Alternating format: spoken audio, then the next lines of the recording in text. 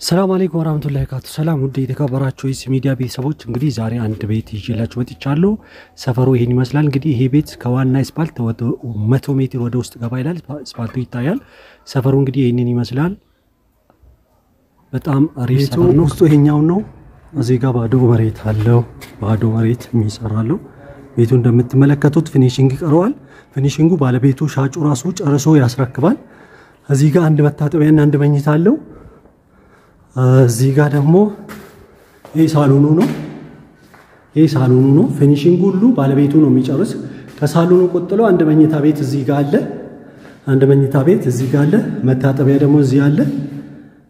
ይህ መኝታው መታጠቢያ እዚህ ጋር ነው። መታጠቢያና አንድ ክፍል እዚህ ጋር ነው። ያው በሩ ይሄ ነው። ሳሎኑ ይሄ ነው ማለት ነው። ከሳሎኑ ቀጥሎ ደግሞ እዚህ ጋር አንድ መኝታ አለ። እዚህ ጋር አንድ መኝታ አለ ለልጆች የሚሆን ማለት ነው። እዚህ እንግዲህ ሳሎኑ ውስጥ ሁለት መኝታና አንድ መታጠቢያ፣ ይሄ ዋና ሳሎኑ ነው።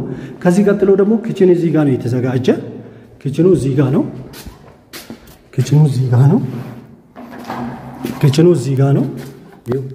እዚህ ጋር kitchen ለ kitchen kitchen የተዘጋጀ ነው። እዚህ ጋር ደግሞ የውጭ መታጠቢያ ነው።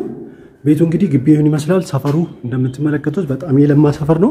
ከዋና አስፓልት ወደ መቶ ሜትር ብቻ ውስጥ ገባ ይላል። ቤቱ ይህንን ይመስላል። finishing ኡ አላለቀም። እዚህ ጋር ዳቦ ባዶ መሬት አለው። ጠቅላላ እንግዲህ ሁለት መቶ ካሬ ህጋዊ ካርታ ፕላን አለው። ሁሉም ነገር እየተሟላ ነው። ይህ ቤት የሚገኘው ሱሉልታ ከተማ ይገኛል። ከዋና አስፓልት መቶ ሜትር ብቻ ወደ ውስጥ ገባ ይላል። እንግዲህ ይሄ እዚህ ቤትም ለመስራት ሱቅም ባዶ ለመቶም ይሄ ባዶ ነው። ይሄ ባዶ ነው። ለመኪና ማቆሞችም ያሉ በሚገባ እንደዛ ነው። ሰፈሩ እንግዲህ ይህን ይመስላል። ሰፈሩ እዚህ ጋር ነው። ሰፈሩ እዚህ ጋር ዋና አስፋልቱ ትር ወደ ውስጥ ገባ ነው።